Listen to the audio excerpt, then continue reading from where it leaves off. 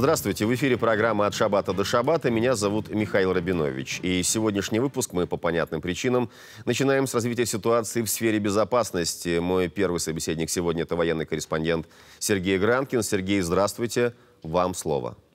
Да, добрый вечер, Михаил. Хотя он, конечно, не очень добрый. Снова приходится рассказывать о теракте, как это происходило не раз, не два и не три, к сожалению, на протяжении всего минувшего месяца.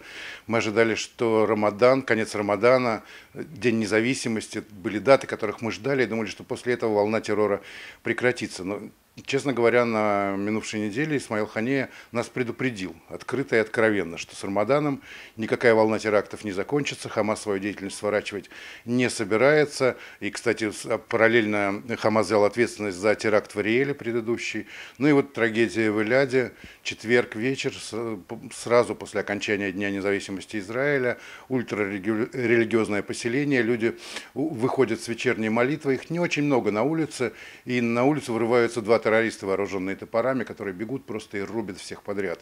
Страшное зрелище, как говорят очевидцы, есть и камеры видеонаблюдения, но их даже не публикуют, вот эти кадры, потому что ну, это невозможно смотреть, это что-то за, за гранью, да, какой-то фильм ужасов. И под топор попадают шесть человек, э, трое сразу погибают на месте, но после такого удара в голову выжить практически невозможно.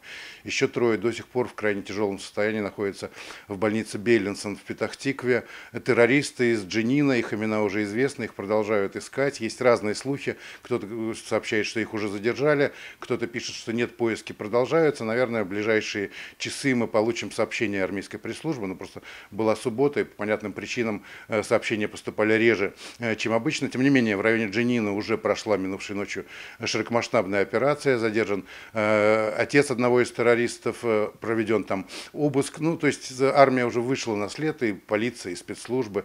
И ясно, что их поимка – это вопрос какого-то времени. Джинин продолжает оставаться таким центром террора, и, к сожалению, операция «Волнорез» в этом смысле помогла, конечно. Несколько важных, серьезных банд террористов уничтожены, разрушены, арестованы, перестреляны, но, тем не менее, там постоянно появляются новые и новые боевики, и они не самозарождаются из воздуха. Откуда там столько террористов? Почему так много вооруженных людей именно в Джинине? Да все очень просто. В 8 месяцев израильская армия по соглашению с властями палестинской автономии не заходила в Джинин. То есть э, первый заход Джинин был фактически вот началом операции «Волнорез». Это чуть больше месяца а, назад. До этого Джинин не трогали. Даже когда был побег из тюрьмы Гильбоа, помните, э, там палестинская полиция проводила операцию, израильские солдаты их только прикрывали, палестинских полицейских. То есть была договоренность прямая с Абумазаном, что он обеспечивает Джинине безопасность. Израильтяне Джинин не трогают, и, соответственно, таким образом обеспечивается стабильность на территориях. Как всегда, вот эти радужные планы, да, благими намерениями, мы знаем, куда э, выстелена дорога, вот так оно и получилось. То есть террористы за год практически свободы действий смогли создать новые боевые ячейки, вооружиться, подготовиться, нарисовать планы, и некоторые из этих планов, к сожалению, даже э, осуществить. И, собственно, мы постоянно об этом рассказываем. Тем не менее, операция «Волнорез» будет продолжена, она идет в Джинине и сегодня, и будет идти э, ближайшей ночью. Э, понятно, что в конце концов боевиков схватят и этих, и других, и тех, кто оказывает сопротивление. Сразу после теракта армия получает приказ действовать жестче, чем обычно, просто еще чтобы продемонстрировать силу, чтобы следующие террористы не пошли за своими героями каждый теракт вызывает так называемый автошок, да, то есть эффект вторичный, как после землетрясения. То есть когда убивают евреев, э, тысячи молодых палестинцев мечтают тоже оказаться на фотографиях на стене соседского дома, в интернете, Лучше, конечно, без надписи «Шахид», хотя некоторые мечтают, собственно, и об этом тоже. И после каждого теракта, соответственно, количество попыток нападения на израильтян увеличивается. Это известная статистика, ничего с этим не поделаешь, так что ближайшие дни тоже будут крайне опасными. Собственно, командование Центрального округа в этом не сомневается. Боеготовность снова наивысшая, как была в День независимости. Кстати, парадокс, да, то есть боеготовность наивысшую отменили буквально за час до теракта в Иляде, э, просто потому что закончился День независимости, и уже даже оперативный штаб рассматривал вопрос о том, что нужно отменить режим закрытых территорий. Ну, понятно, что режим не отменили сразу после теракта, и отмени, отменит его, по всей видимости, если ничего больше не произойдет, через 4 э, часа. То есть 12 ночи режим закрытых территорий будет отменен, и тысячи, десятки, сотни тысяч палестинцев снова поедут в Израиль. Говорят, что палестинцы, у которых есть разрешение на работу в Израиле, опасности не представляют, нападают в основном те, у кого нет разрешения, так называемые нелегалы, они пролезают через дырки. Ну, кстати, двое жителей э, Джинина с уголовным и террористическим прошлым, у них не было разрешения, они бы и не смогли его получить, даже если бы захотели, просто потому что уже познакомились с израильским законом, а один из них даже с израильской э, тюрьмой. Но вот, тем не менее, вопрос отменять или не отменять режим закрытых территорий, он, с одной стороны, экономический, Понятно, стройки встанут, палестинцы денег не заработают, останутся дома, кому-то придет в голову шальная мысль, и он пойдет на улицу с ножом или бросать камни. С другой стороны, политический, ну, вроде как э, правительство наше э, гордится тем, что вот экономическими мерами они добились лояльности от большей части палестинцев, и поэтому нету массовых беспорядков, массовых демонстраций. В этом смысле, с их точки зрения, Рамадан прошел э, более-менее спокойно. Но при этом есть главный самый вопрос, вопрос безопасности. И вот тут, конечно, возникают некоторые проблемы, очевидно, да, что есть и среди тех, кто имеет разрешение на работу, люди, которые сочувствуют террору или хотят стать шахидами это понятно, это известно. И главное, что была раньше политика кнута и пряника. То есть есть теракт, значит, есть наказание, значит, люди не выходят на работу, и они остальных террористов, которых они, конечно, знают, в своей деревне, например, просто по-хорошему, по-соседски предупредят, что не дай бог, нам нужны деньги, нам нужна работа, прекратите там или переезжайте из деревни, или откажитесь от ваших намерений. То есть кнут тоже необходим. Израильское правительство пока действует только методом пряника. То есть теракт, послабление, теракт, из газа выпускают людей на работу. Еще один теракт, ну да, выводят 6 э, батальонов на заградительное сооружение, но при этом не запрещают въезд палестинцам э, в Израиль и продолжают экономические проекты там, с тем же Хамасом, который откровенно угрожает Израилю, откровенно заявляет, что будут теракты, и эти теракты происходят. Я, кстати, напомню, что э, Исмаил Ханей, когда делал свое заявление о том, что теракты будут продолжаться и после Рамадана, параллельно еще и взял ответственность за теракт на въезде в Ариэль который произошел в конце прошлого месяца. И в этом смысле Хама, Хамас сделал, сделал это совершенно безнаказанно. То есть вообще не было никакой реакции со стороны израильских властей. Наверное, была реакция э, там, у силовиков. То есть были задержания хамасовцев, какие-то новые э, активисты Хамаса попали в разработку и будут задержаны в ближайшее время. Такие стандартные меры, но вот самый простой и действенный экономический способ наказать Хамас – просто перекрыть, например, строительство газопровода в сторону электростанции газа. Этот проект, которым Хамас нас особенно гордится и надеется, что вот в ближайшие недели э, газ будет обеспечено электричеством полностью, без перебоев. Это действительно скачок э, в уровне жизни.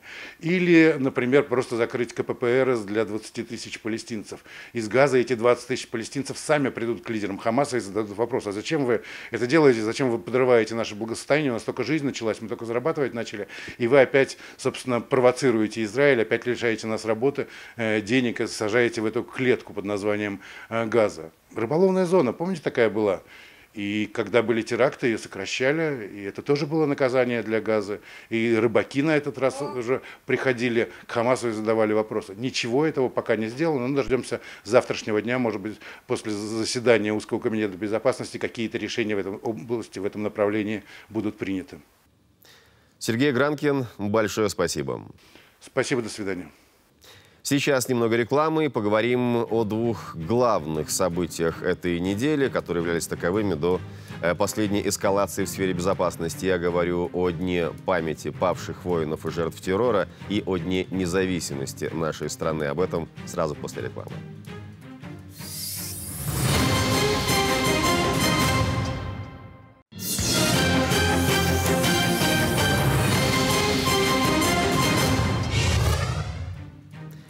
В эфире программа «От шабата до шабата».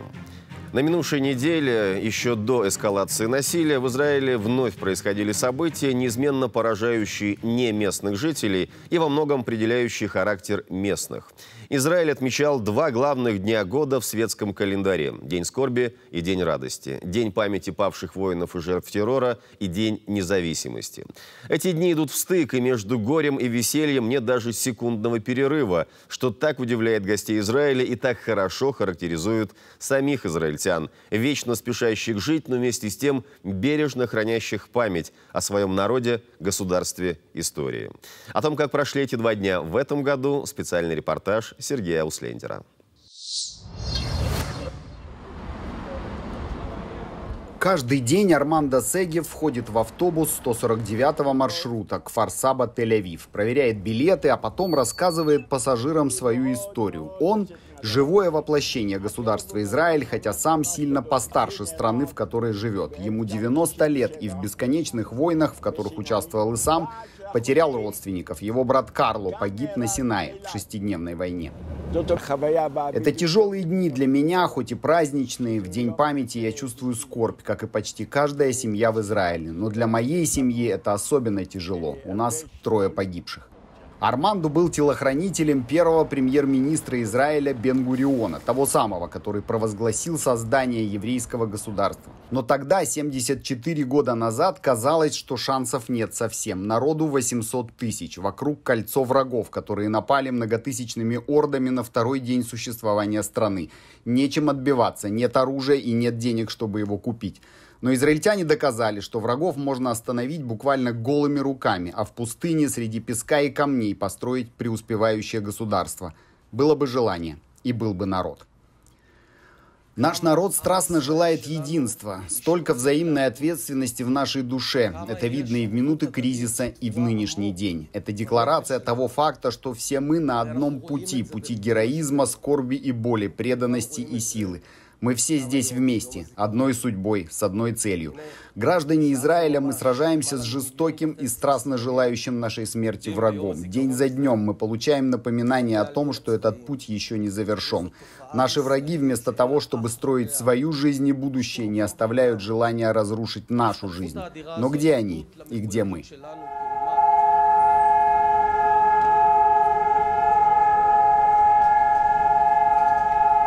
Израиль воюет всю свою историю. 24 068 человек погибли, отстаивая его независимость. В их честь звучит над страной траурная сирена, напоминая о цене, которую приходится платить за свою свободу.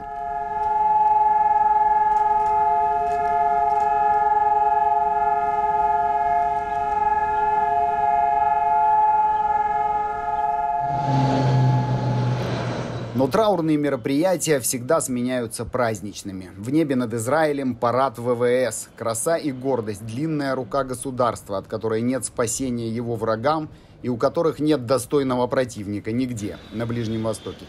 Сотни тысяч израильтян наблюдают за пролетами и фигурами высшего пилотажа. Времена, когда евреям приходилось воевать голыми руками, давно прошли.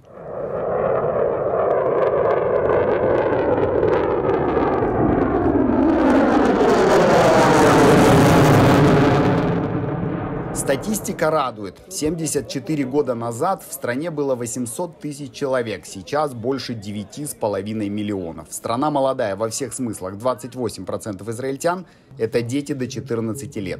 Экономика растет, израильские технологии используют по всему миру, а международные корпорации стоят в очередь, чтобы купить какой-нибудь стартап. А вот кому не позавидуешь в День независимости, так это вегетарианцам. Отовсюду доносится умопомрачительный запах жареного мяса. Это непременное занятие в главный государственный праздник. Накануне в магазинах разбирают все, что имеет отношение к барбекю. Откуда пошла такая традиция наедаться в этот день жареным мясом, никто уже не упомнит. Но дело это обязательное. Не стоял у мангала, значит не патриот государства Израиль. Поэтому стоят все. Недаром израильтяне шутят. Дым от наших мангалов в этот день видно даже из космоса. Сергей Услендер, Григорий Бадо. Специально для Девятого канала. Сейчас немного рекламы, после чего мы продолжим разговор об итогах 74 лет израильской независимости.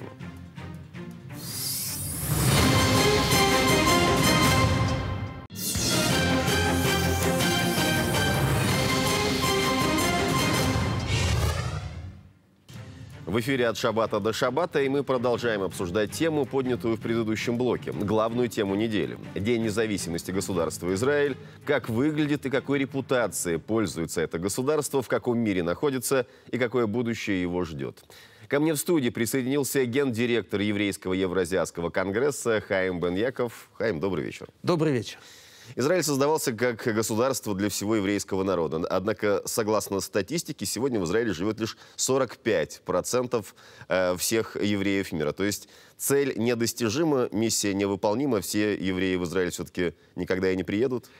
Э, убежден, что цель достижима. Во-первых, с праздником вас Спасибо. и всех э, наших телезрителей а также их знакомых и друзей в самых разных и местах, как говорят, во всех странах, где есть Кока-Кола, потому что там живут евреи. Да. Вот попробуй собрать из всех стран, где есть Кока-Кола, чтобы они сюда приехали. Угу. Но вы назвали серьезную цифру, 45% еврейского населения всего. мира всего живет в Израиле, да. но при этом это самая большая еврейская община в мире.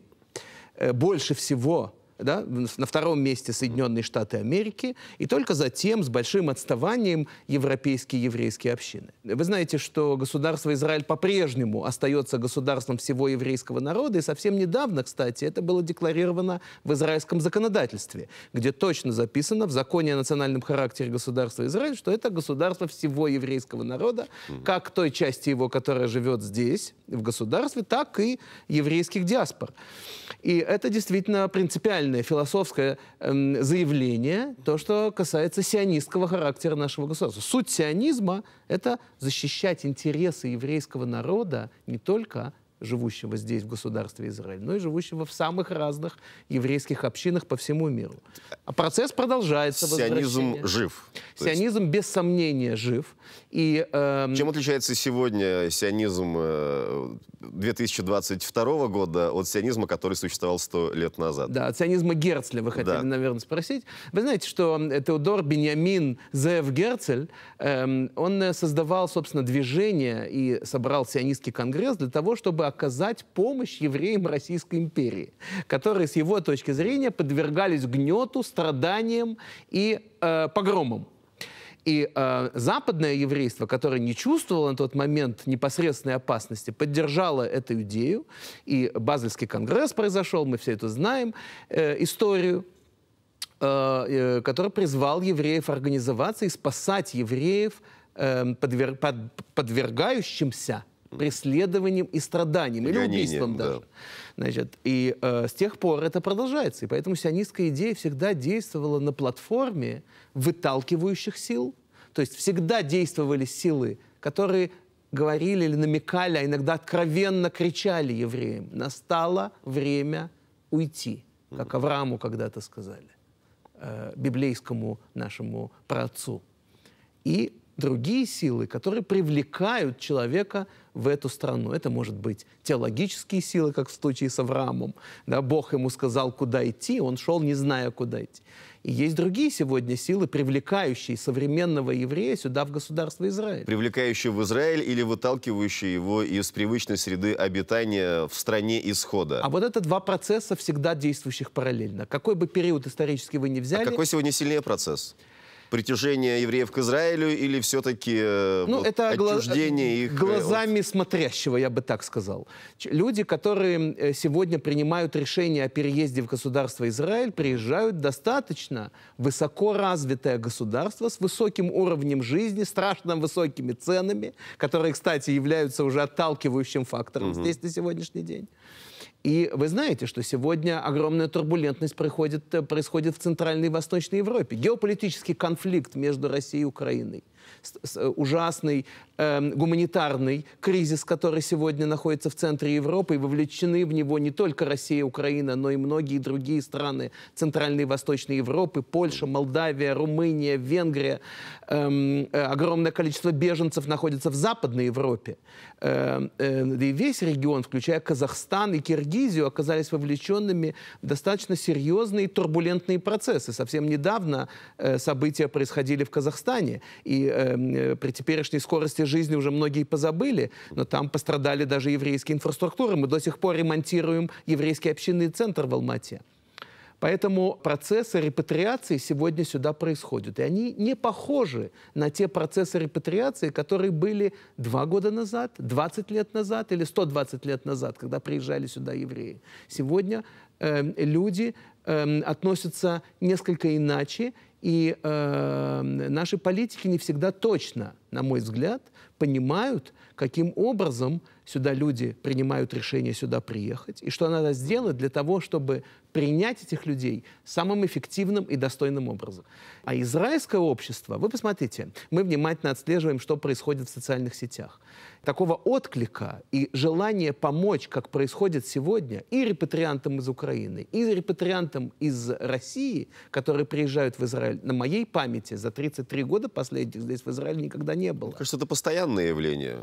В таком... Я приехал в 96-м году, и людей, желавших мне помочь, было немало. Было и, все, и все остальные, кто приехал вместе со мной, тоже получали здесь помощь, там, я не знаю, Без кастрюлю, сомнения. там ночлег, начиная там, от корзины абсорбции, да. или там бесплатными билетами на концерт, и кончая людьми, которые готовы наполнить холодильник э, продуктами, сделать скидку э, там, на какие-то услуги и товары, и так далее, и так далее. Здесь э, общество ориентировано на прием репатриантов по большому счету, и государственные институты, к моему большому удивлению, отреагировали достаточно быстро, в течение нескольких недель сумели организовать центры э, и перестроились э, институты МВД и э, то, что мы называем бюро по связям «Натив», э, и эм, э, другие государственные и квазигосударственные структуры.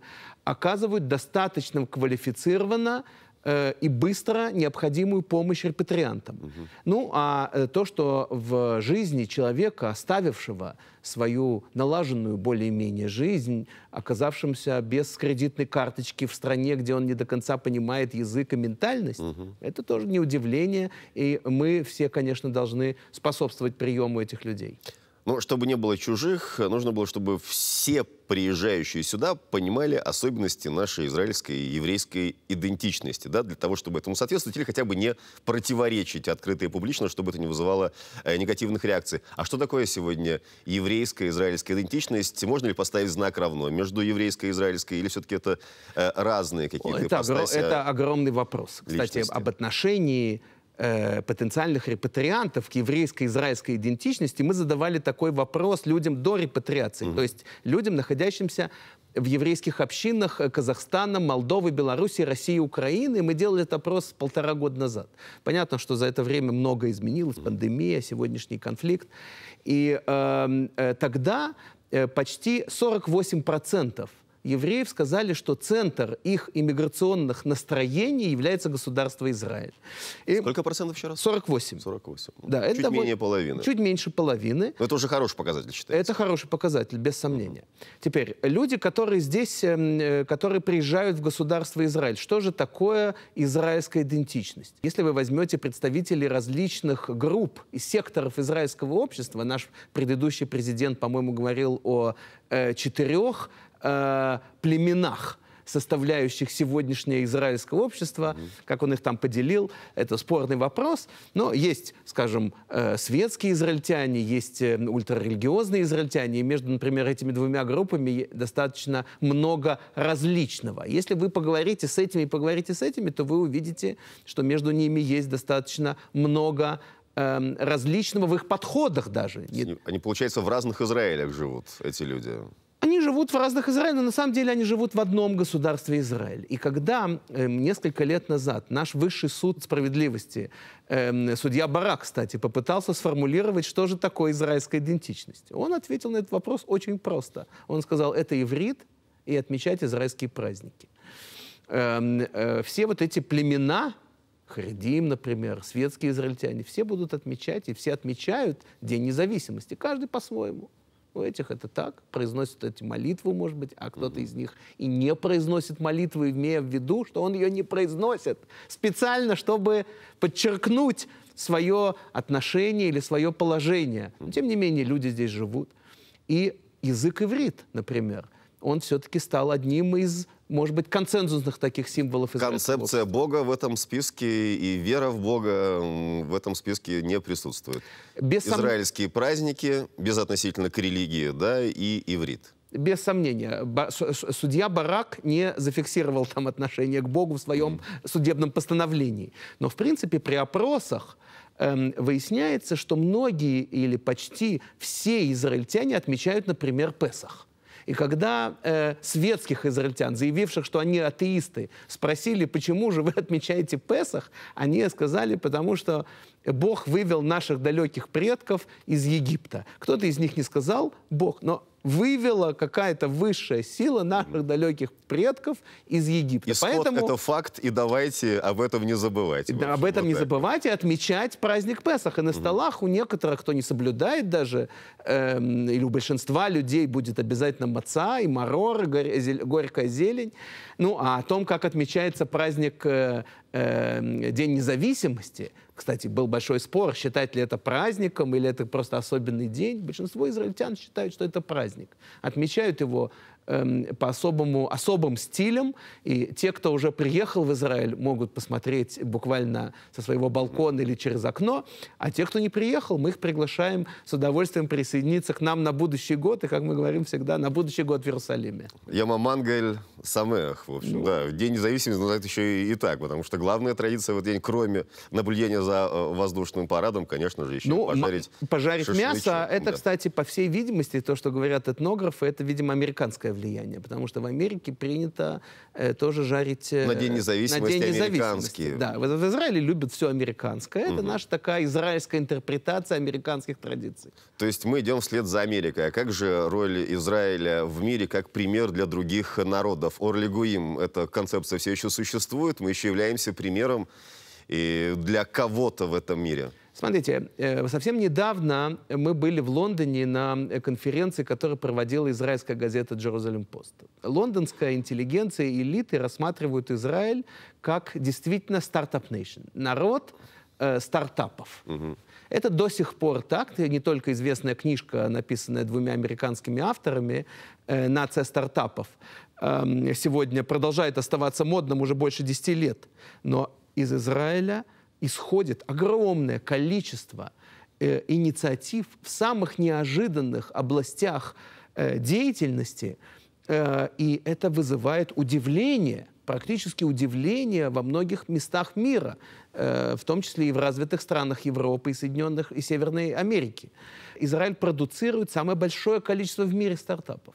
Израильский университет... На душу населения. На душу населения. Да. И в абсолютных подсчетах это тоже иногда угу. э, цифра очень впечатляющая.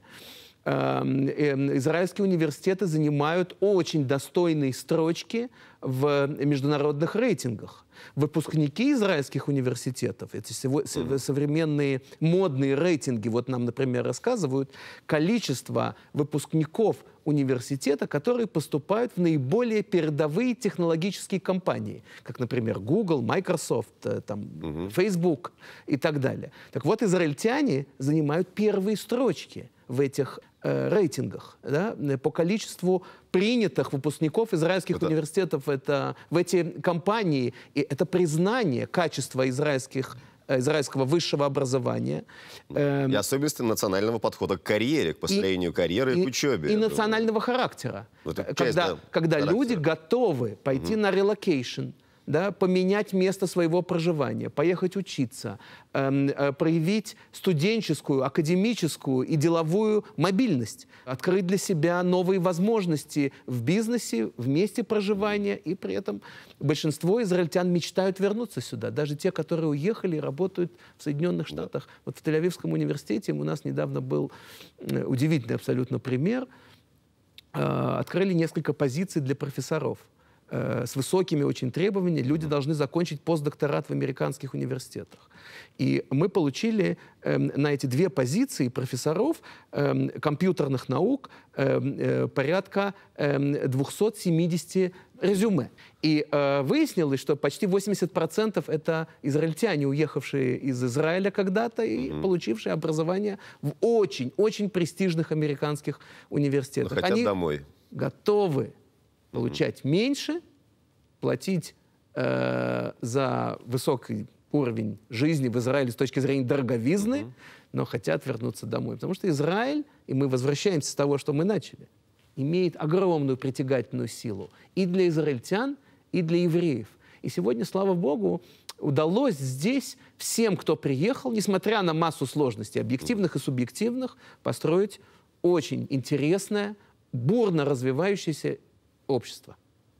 Хайман Яков, большое спасибо за эту беседу. Спасибо вам, с большим оптимизмом.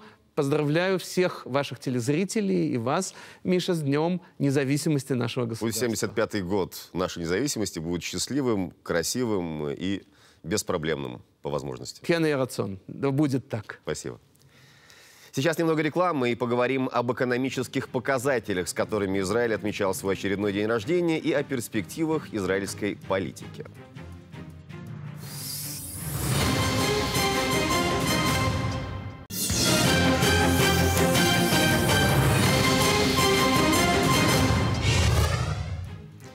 В эфире «От шабата до шабата».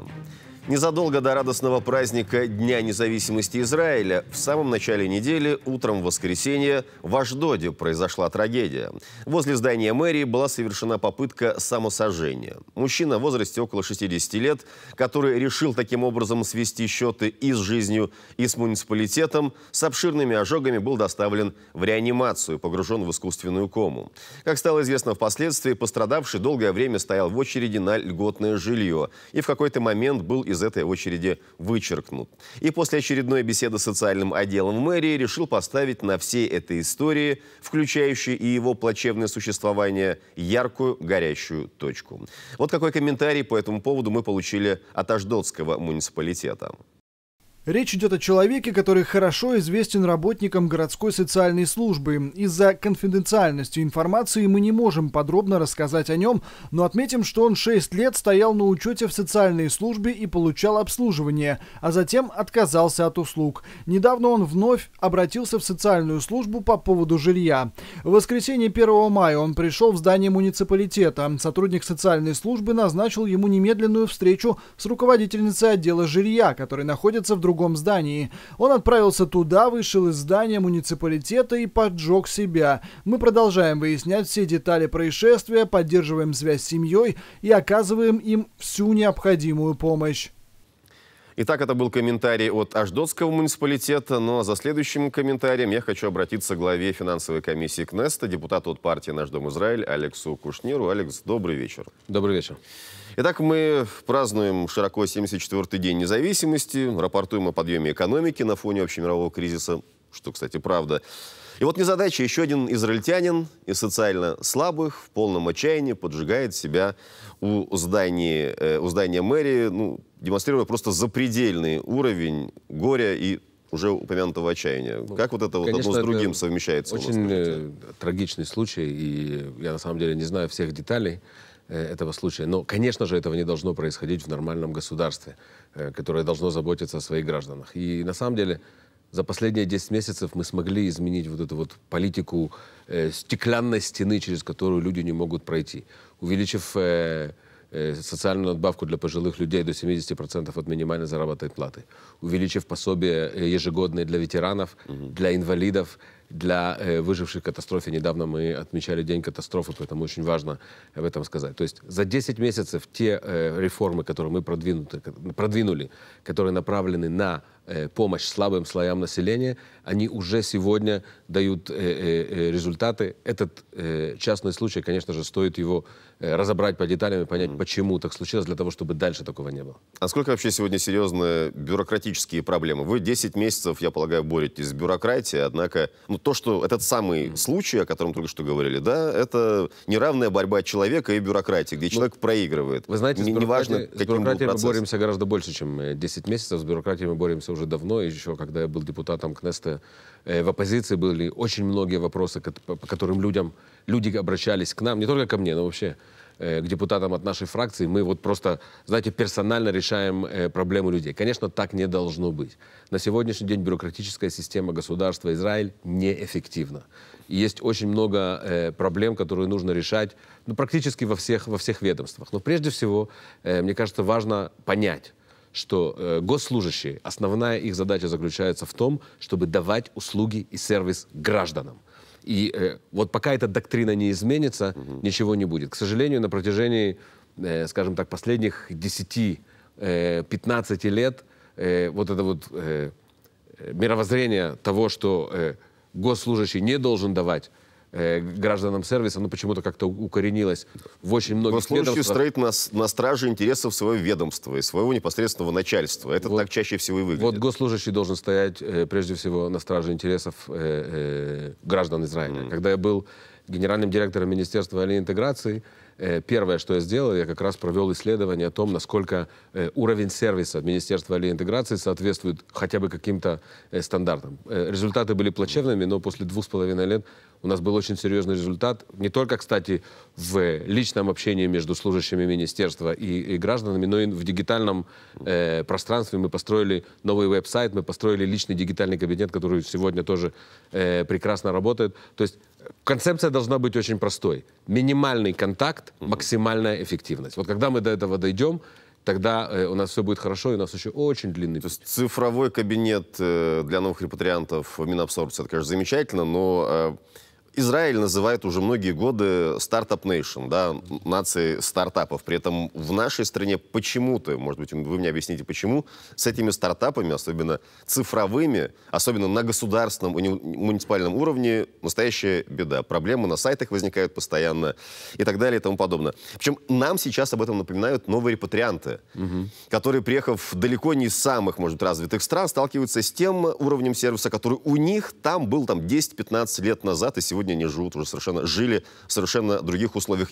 В особенности это касается банковской сферы, да, против которой тоже э, ну, немало ну, звучит Банковская э, сфера — это частная возмущенных... Если мы говорим о э, государстве, да. о механизме государственных ведомств, то, конечно, Израиль, к сожалению, находится далеко-далеко позади э, не только развитых стран Европы, но и э, стран, э, тоже пост, России, стран, да. постсоветского, стран э, постсоветского пространства, где сервис гораздо более удобный, гораздо более эффективный. Но, как я сказал, э, Создана э, очень неэффективная система бюрократии на протяжении многих лет. Для того, чтобы эту систему изменить, ее невозможно изменить вот так, потому что нужно изменить культуру каждого ведомства, нужно э, правильно писать, по-другому писать тендеры, и это все происходит, но это все берет очень много времени. Могу вам привести А пример? принять закон нельзя, который, в котором будет расписано, что до такого вот числа вы работаете, как вы еще работаете, а после этого будьте любезны переходить на новые рельсы, знаете, на цифровые знаете, и так очень далее. Многие, очень многие люди считают, что принятие закона... И, и к ответственности привлекать Это потом. вот как вот по волшебной палочке. Но вы понимаете, что для того, чтобы принять закон можно, но нужно этот закон выполнять и соблюдать. И если сегодня э, системы государства, то есть я имею в виду IT-системы, интернет-системы, системы услуг, не готовы к этому закону, то закон можно принять, и он останется, знаете, лежать э, на очень красивой бумажке. Э, изменения должны происходить внутри министерств. И, кстати, я должен сказать, что многие министры, которые сегодня занимают Э, э, посты этим вопросом занимаются практически каждый день. Но просто такая огромная система, э, как министерство, практически любое министерство, даже самое маленькое, любое изменение берет очень-очень много времени. То есть нам это в обозримом будущем перемен к нет, лучшему не увидеть? Нет, однозначно. Мы даже что... по израильским сериалам знаем, что во многих министерствах просто родственники работают, да, которые... Нет, кстати, вот, вот с этим я не согласен. Родственники не работают, есть нормальная система. Были журналистские расследования, где ну, это, указывались это, прямо Михаил, семейные част... кланы это в госведомстве. Это частный случай. Э, насколько я знаю, а я знаю, потому что я э, работал в правительстве, я был генеральным директором mm-hmm. министерства, Тендеры работают достаточно четко. И, кстати, одна из больших проблем русскоязычных репатриантов заключается в том, что они изначально не верят в то, что они могут подать на этот тендер и выиграть, поэтому они не подают. И вот это вот, кстати, большая проблема. И э, все, чем я много своего времени тратил как раз на то, чтобы убедить людей, что это не так. Потому что очень часто тендеры, э, то есть ты выбираешь людей, тебе некого выбрать. Если бы туда подали какие-то люди, которые соответствуют э, каким-то критериям, их можно было бы выбрать на эти должности. Поэтому тут как раз у нас проблем меньше, чем во многих других других странах. Я не говорю, что нет, но меньше, чем во многих других странах. Проблема заключается в том, что должна быть изменена так называемая тарбут иргунит, то есть культура работы э, э, правительственных ведомств и министерств. Организации, да. Это берет время. Угу. Э, в этом правительстве были сделаны первые важные шаги на эту тему. Они особо не освещаются в прессе, потому что это, знаете, внутриминистерские э, какие-то дела. Но, опять же, это, знаете, это как большой корабль, который для того, чтобы, даже если ты сейчас повернешь штурвал, пока нос повернется, это берет время. Я могу вам сказать, что мы, э, да, находимся на э, пути к улучшению сервиса, который государство предлагает э, э, своим людям. Кстати, я могу привести пример. Знаете, есть такое не очень популярное министерство, называется налоговое инспекция. Угу. И вот буквально э, за год работы с ними в финансовой комиссии КНЕСТа мы смогли добиться очень серьезных результатов. То есть сегодня, допустим, очень много э, отчетов, которые раньше нужно было подавать рукой и приходить э, в ведомство для того, чтобы подать, сегодня делается онлайн, очень многие люди начинают этим пользоваться, поэтому да, есть процессы, которые ведут туда. Кстати, тот же самый э, Битуах Люми, если вы вспомните Битуах Люми э, 5-6 лет назад и сегодня, это абсолютно разные организации. Я не могу сказать, что они идеальные и полностью э, э от, соответствуют стандартам 21 э, века, но мы... Okay. Э, но работа проводится. Нет, однозначно понятно, что есть проблема, эту проблему надо решать, и мы, мы этим занимаемся. Эм, я уже упомянул репатриантов, да, которые как раз указывают нам на несоответствие сервиса нашему гордому званию Startup Nation. И я бы хотел вас попросить процитировать следующий пост в Фейсбуке, который мне попался, который вот говорит о проблемах как раз новых репатриантов. Новый репатриант из России приезжает в Израиль. Все деньги он привозит наличными. Как еще, SWIFT отключен. Перевод делать сегодня из России в Израиль сложно. Приходит в Израиле в банк. Тот ему или вообще счет не открывает, если еще нет статуса, и человек в процессе получения гражданства. Или открывает, но не дает положить на него деньги, поскольку не доказано их происхождение. Э, далее человек пытается снять первую квартиру на новой родине, но для этого надо показать хозяевам зарплатные ведомости и банковскую гарантию. Человек Банковская говорит... гарантия для того, чтобы снять квартиру? Безусловно. Банковская я... гарантия для того, чтобы снять Соверш... банковский чек, не банковская гарантия. Ну, это, банковский, это банковская Нет, это гарантия. Ну, ну не важно. Банковская, это ну, то же самое. Смысл, смысл от этого не меняется. Меняется. Даже нужны люди, гаранты, кроме того, кроме э, этого письма из банка, нужны люди, гаранты, что тоже у новых репатриантов этого нет. Так вот, ну, для, для этой банковской, неважно, не письма, не будем называть это гарантией, надо иметь открытый счет в банке, на этом счету деньги, которые будут заморожены банком для обеспечения э, этого самого банковского счета. Вот а это вот лишь мелкая часть тех проблем, с которыми э, сегодня новоприбывшие репатрианты сталкиваются. Михаил. Вот. И, может быть, в этом объяснение того самого факта, который на этой неделе широко обсуждался, о том, что треть приехавших из России новых репатриантов получила документы и какие-то подъемные и вернулась в Россию. Давайте по порядку. Давайте. Э, во-первых, э, на протяжении многих лет статистика репатриаций вот как раз меняется. Многие люди приезжают, потом по каким-то причинам уезжают. Я считаю, что это абсолютно нормальный процесс. Мы живем в свободном мире. Израиль — это свободное государство. Никого не должно держать за ручку для того, чтобы он остался. Но государство должно сделать шаги для того, чтобы люди почувствовали здесь себя как дома и остались. И Поэтому... не захотели уже уезжать. И не захотели никуда уезжать. Что же касается конкретной э, э, ситуации сегодня с финансовыми э, транзакциями с Россией. Э, израильские банки — это игроки на международном валютном рынке. И они, естественно, работают согласно тем стандартам, которые они получают от различных финансовых международных ведомств. У каждого банка есть такое понятие, есть такое название, называется ктинциют. То есть это человек, это целый департамент, который отвечает за э, компиляцию работы израильского банка с международными стандартами. Угу. Поэтому, если есть банки, э, которые попали под санкции, или э, скажем, корреспонденс-банки, которые попали под санкции, израильские банки не могут принять оттуда переводы. Что же касается открытия... Что делать Подождите, людям? объясняю. Люди приезжают с деньгами, Подождите. они их не вложить что не могут, касается... ни банковских Подождите получить секунду. услуг, Что ничего. касается открытия счетов. Израильские банки обязаны, обязаны открыть счет любому репатрианту. Если есть какие-то проблемы по этому поводу, я сейчас обращаюсь в камеру и говорю, просто пишите мне, я нахожусь с, с Игуда банком, то есть ассоциация банков, на постоянном контакте. И если есть какие-то проблемы, кстати, немного, они одиночные, мы эти проблемы решаем. Что же касается сумм денег, которые денег, люди да. хотят вложить. Если у человека есть доказательства – о том, о э, источнике этих денег, угу. то банки эти деньги примут. Если доказательства об источнике нет, то банки деньги не примут. И это абсолютно нормальный процесс. В России сегодня можно получить доказательства, потому что там работают нотариусы, угу. работают адвокаты, все работает. Нет никакой проблемы получить доказательства источника дохода. Поэтому абсолютно не надо сейчас превращать это в какую-то кошмарную историю. Эти случаи абсолютно единичные. Э, ничего не изменилось. Mm-hmm от начала войны и после войны, с единственной разницей. Есть банки, которые попали под санкции, и транзакции израильские банки не принимают. Что же касается съема квартиры. Съем квартиры в Израиле работает так же, как он работал и до войны. Для всех репатриантов. Вы приезжаете сюда, вы начинаете получать корзину. Вы начинаете получать корзину, вы можете пойти в банк, у вас есть чековая книжка. Есть люди, хозяева квартир, которые требуют банковские гарантии. Есть, которые не требуют. Есть, которые требуют гарантов. Есть, которые не требуют гарантов. Ни Поэтому, разу не встречал человека, потому, который не требовал бы ни гарантии, я ни вам, гарантов. Я вам приведу пример. Я Таких занимаюсь нет. огромным количеством репатриантов. Да. И есть люди, которые снимают квартиру без всяких гарантов. Есть многие люди, которые требуют гарантов от родственников. Люди выписывают чек битахон, это называется, и дают гарантию. Более того, ситуация изменилась только в одном. Сегодня репатрианты, которые приезжают сюда, получают несколько недель бесплатного проживания в гостинице. За это время они могут определиться с тем, как они живут. И факт, что большая часть людей, подавляющее большинство репатриантов, mm-hmm. особенно те, э, э, кто приехали сюда для того, чтобы остаться, они решают эти вопросы. Никто не говорит, что репатриация в Израиль идеальна, и никто не говорит, что интеграция в Израиль максимально эффективна. Израиль до сих пор не понял, что э, мы находимся в состоянии конкуренции со всем остальным миром.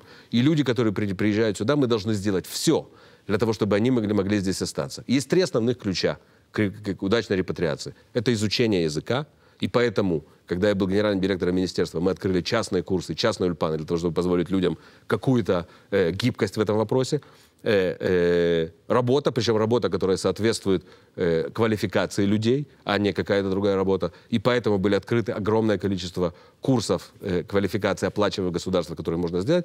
И третье — это э, э воспитание, обучение детей. Вот это три основных ключа. Угу. Как только эти три ключа сработали, можно сказать, что репатриация удачная.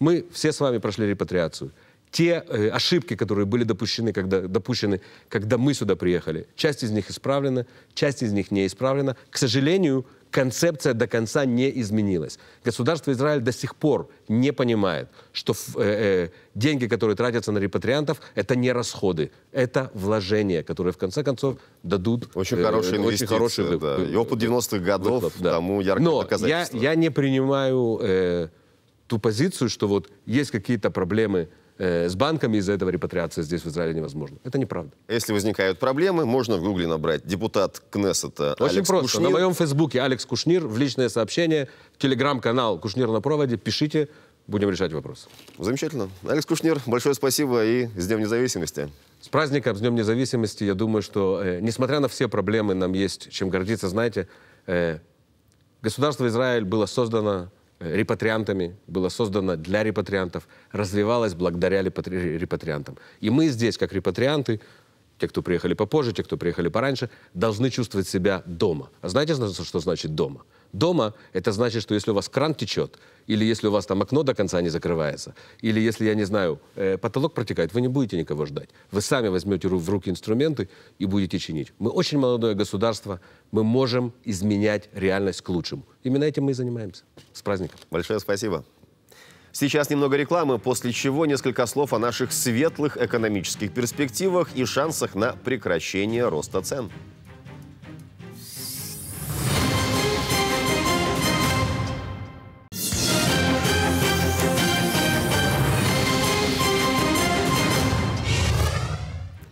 Вы смотрите программу «От шабата до шабата». На минувшей неделе сайт Валла порадовал израильтян результатами своего очередного экономического исследования. Согласно проверке, проведенной специалистами этого информационного портала, несмотря на все спекуляции относительно того, что после Песаха нас ждет очередной рост цен, этого не произошло. В рамках исследования были изучены цены на 135 самых распространенных товаров и продуктов. И оказалось, что после праздников потребительская корзина подорожала по сравнению с предпраздничной менее чем на 1%. При этом на протяжении нескольких предыдущих лет эта разница составляла почти 10%. Получается, что общественная критика повлияла на поставщиков и торговые сети, и они отказались от повышений цен. Или мы наблюдаем лишь некое затишье перед бурей? С этими вопросами я хочу обратиться к экономисту, финансовому консультанту Игорю Лупинскому. Игорь, добрый вечер. Добрый вечер. А как бы вы объяснили тот факт, что в этом году нет разрыва между ценами перед и после праздников? Ну, вы, в принципе, его уже озвучили. То есть, э, поскольку на сегодняшний день э, ситуация с ценами, ситуация с подорожанием находится в очень ярком фокусе внимания как средств массовой информации, так и самих потребителей, видимо, э, как импортеры, так и розничные продавцы решили не идти на рожон и не вызывать скажем так, лиш, лишнего гнева на себя. Как долго это продлится и когда нам этого повышения ждать, пока непонятно. Вполне возможно, что э, оно предстоит перед праздниками, но э, можно сказать, что некоторые госпрограммы и некоторые инициативы нашего правительства все-таки, возможно, возымели действие. Насколько это действительно так, мы узнаем э, примерно еще через полгода-год. Но пока вот во временном плане э, стандартная тенденция, что после Песаха всегда все дорожало, в этом году фактически не случилось. Является ли это некой подготовкой к возможным предстоящим выборам или реальной ситуацией, это мы узнаем опять-таки примерно через полгода. Если ситуация будет стабильна, значит все хорошо.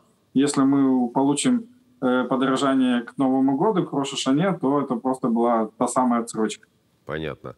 А как вы оцениваете перспективы рынка жилья, особенно на фоне массовой репатриации и приездов десятков э, и приезда десятков тысяч э, человек сюда, в Израиль?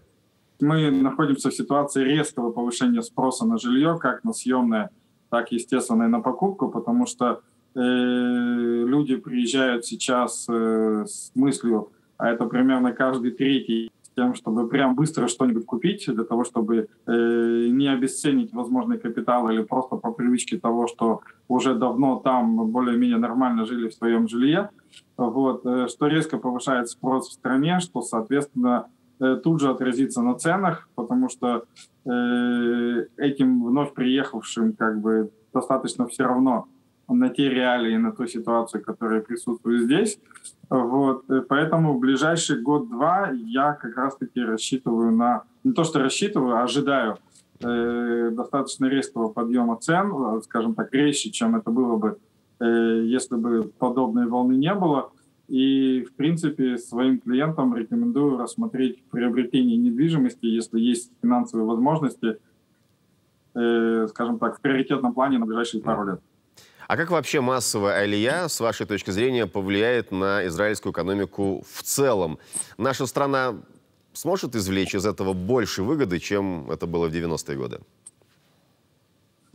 Ну, насчет больше не знаю. Тут надо будет посмотреть на статистику, и это достаточно сложные расчеты, которыми я лично не занимаюсь. Э, я могу сказать, что любой приток э, сказывается э, положительно во всех факторах. Во-первых, это и приток капитала, во-вторых, это и приток э, как возможных э, трудовой силы, так и возможных рабочих мест.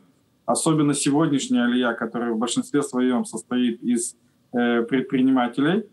Вот, соответственно, это люди, которые, скорее всего, продолжат свою деятельность так или иначе.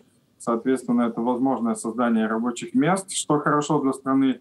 Ну и, естественно, резко вырастает уровень потребления – что точно так же замечательно для страны. Поэтому э, любой приток, э, он положителен для, э, на уровне макроэкономики. Вот, то есть к каждому конечному потребителю, может быть, это будет и не так приятно, как, опять-таки, рост цен на жилье.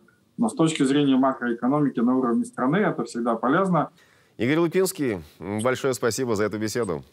Спасибо вам. Всего доброго.